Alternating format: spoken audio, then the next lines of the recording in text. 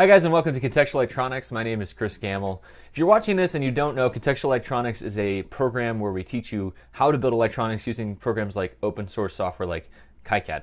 Um, that is a big tool that we use, but we also go over a lot of lower cost test equipment, and that's what I wanted to talk about today. Because I was talking to someone the other day actually about musical instruments, which is another another interest of mine. Uh, and so we were talking about, well, should they just go and buy the best guitar they could afford right away, or should they buy, you know, the lower cost one at the beginning? And I always, always recommend that you buy the low cost one to start with. That's because uh, even though, and, and there's there's a caveat to that, but even though uh, you might be able to afford a, a, a very very nice guitar, again using the guitar as, as an example here, you don't actually understand why it's nice, right? You don't understand what's so great about it. And I'm sure that some people out there are screaming, oh, you should go straight for the great guitar. This is just my opinion. Uh, I think you should go for the second to cheapest guitar you can find. Learn how to play on it. Make sure you're actually understanding why, uh, what makes a good sound on a guitar, right? And, and understanding that that is the method.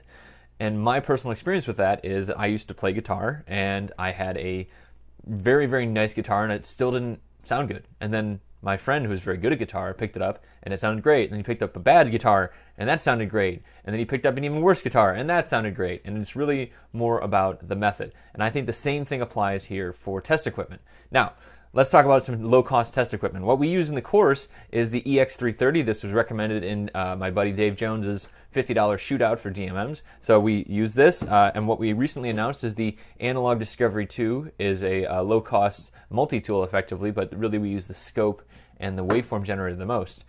And I've already had people asking, well, why don't I just upgrade?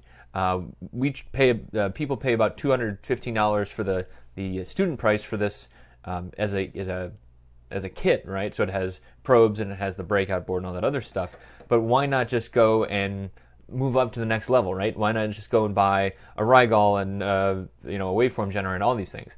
And that's that's a great question. And or maybe why not just pay the couple thousand dollars and I know I'm going to want a scope. And the, the answer is, well, you still want to understand the the how do you, how do you use a low cost piece of test equipment? Because sometimes you're going to be in a pinch. Sometimes you are going to use lower cost test equipment right? I've used thousand dollar dmms before but i also use you know regular handheld low cost dmms on a regular basis. And it's good to understand you know the limitations of one versus you know just the, the very fanciness of it. Another thing is if you are just getting started and you're using a you know a very very expensive piece of test equipment well, if I break this, it's fifty dollars. If I break that, it's thousands of dollars. So that's another thing where if you're, uh, you know, it's just a little bit scary when you're getting started. I'm going to be a little bit more, um, you know, willing to try things out with a $50 DMM than I would with a $5,000 DMM. So that's another thing. And then finally, um, using this, right, and, and specifically a DMM because this is, um, you know, has a low resolution, right? I think this is three and a half digits of resolution. You're going to very quickly understand why you're what you're paying for, right? You get what you pay for. That's the phrase, um, and you're going to understand that quickly because you're going to say, "Well, I just want to see that next digit of resolution, right? Oh, I I can read that it's you know 1.005 milliamps, but I, what what's the next digit? I want to know it's like 1.5 1.0057 or two or whatever it is, right? And so that really can start to um, and also ranges, right? So that's another thing on DMMs, right? So you want to get lower and lower current measurement. You want to, uh, you know, measure lower and lower currents. You want faster response times on these things. All of the things that a low cost DMM is going to, you know, you're going to realize. Uh, you're going to eventually feel like you have to upgrade, and and you'll know it when you feel it, right? So we use low cost test equipment in contextual electronics because we, you know, we have a couple things we want to buy. We want to try and keep stuff uh, costs down. Also, people are buying a lot of uh, part kits and you know getting started with that kind of stuff. But it's all about you know understanding the method and really making sure you enjoy the method because Another thing is that um, you know some people are really get really deep into the gear versus the method, right? What we really want to focus on is building that thing, right? So the reason to have DMMs or test equipment in general in the first place is because you're building something and you need to test it on a regular basis. Some people get very very deep into you know specsmanship around the the stuff they're buying and almost like it becomes a collector thing. What and that's that's a very interesting and fun hobby but that's not what we're going for here. We're going for build that thing, right? You want to build that thing, and yes, you need some test equipment to get it done, but uh, if you have that thing you're working towards, then when you are ready to build that very difficult piece of gear that you want to work on, right, you will really appreciate the high cost piece of test equipment. Okay, I mentioned there's a caveat for the low cost stuff. The caveat is don't buy the cheapest thing, right? So uh, there are also $10 DMMs, right? Why didn't I suggest the $10 DMMs? Well, there are some actual lower limits on, you know, usability and safety and all those other things. And like I said, uh, my buddy Dave, who did the $50 shootout, he does, uh, you know, kind of go over some of that stuff. Dave's great for, for a lot of that, um, you know, comparing and contrasting of the low end of test equipment.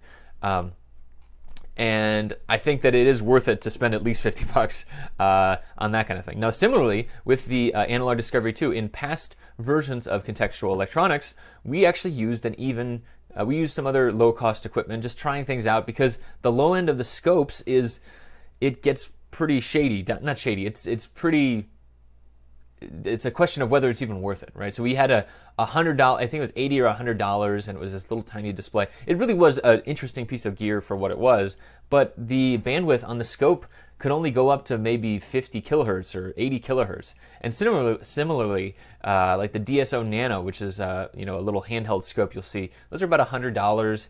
Again, you can get maybe hundred kilohertz, but the the usability and everything about them is just not worth it. And so I've been, you know, going through these things over and over. I have a, a box full of just stuff that I will never use.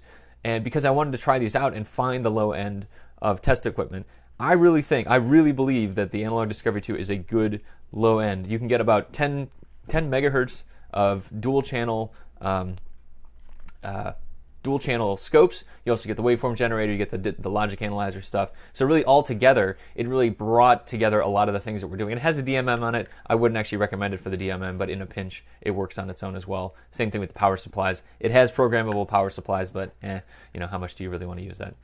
Anyways, um, I wanted to just go over this, you know, the, I was thinking about the analogy because of the, the equipment, or sorry, because of the instruments, and I thought it actually played pretty well into uh, test equipment as well. So, and I also wanted to, you know, reiterate that, that that's why I'm so excited about the Analog Discovery 2. If you didn't see, Contextual Electronics recently announced we actually have a deal going, and that's the, the $215 I mentioned. Uh, if you buy three months of Contextual Electronics up front, you get access to that educational pricing to get this plus the uh, the probes and the, the breakout board and all the other stuff. And really, like I said, having a DMM on hand is good as well. Uh, but for you know, so then what? 260, 270. Um, you have really have a pretty solid um, portable, low cost, you know, capable uh, set of test gear. If you buy these two things together, that stuff is you know, and, and it's it's really tough for people getting started in electronics, uh, understanding you know what they should buy, what they should have on hand. I really think that this is a great starting point. I think that from here you will find that you'll want to higher end test equipment eventually. You'll run into problems where you need it, but I think that this will get you pretty far. So just wanted to go over all that stuff. Do you have any questions? Ask in the forums down below. Thanks for watching.